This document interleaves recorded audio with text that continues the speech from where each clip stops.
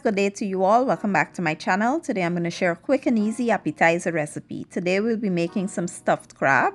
If you're a seafood lover, you'll definitely love this one. So to get started, I have some lump crab meat here and I have some herbs, thyme, cilantro, scallions, parsley. I have some onions as well as some bell peppers.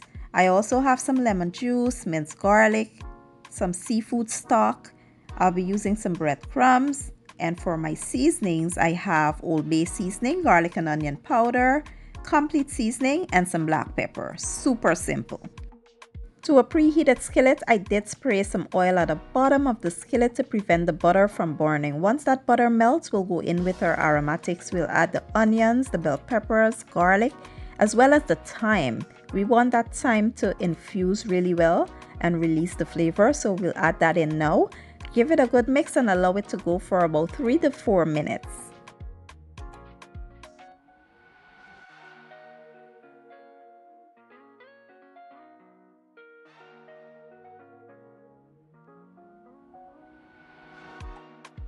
So at this point you want to add the crab meat, lemon juice, the seasonings as well as the breadcrumbs and the seafood stock.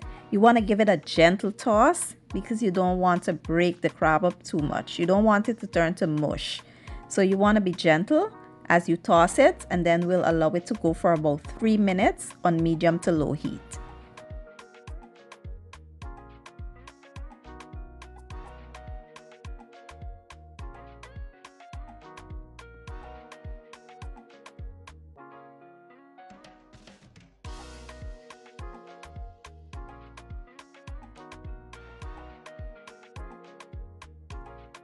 Lastly, you want to add the rest of the herbs for a pop of color and brightness. Give it a little toss and that's it guys. The filling is all done.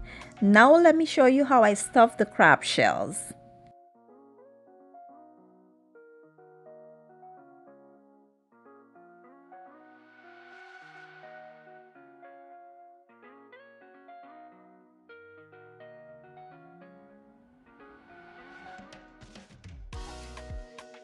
So today I'll be using some Dungeness crab shells. We had some fresh crab the other day and I decided to keep the shells so I can do this recipe. I scrubbed them up really well, washed them clean and make sure they were presentable, you know, for the recipe. So this is what I'll be using and all you have to do is just grab a spoonful of that filling and you could add as much or as little as you like. I got about 10 stuffed crab shells out of this uh, filling. I got 10, but you can do more or less if you like. So you want to stuff them really well. And that's it, guys. Super simple and easy. Anyone can do this. And it's quick. It's no big hassle or anything.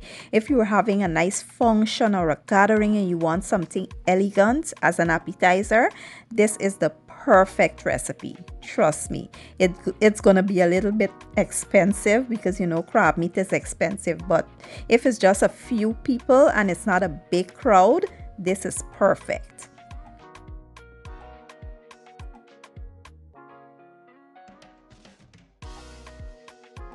And here you have it guys, stuffed crab. In Guyana, we call this crab back. This was my favorite appetizer to get whenever I go to the Tower Hotel.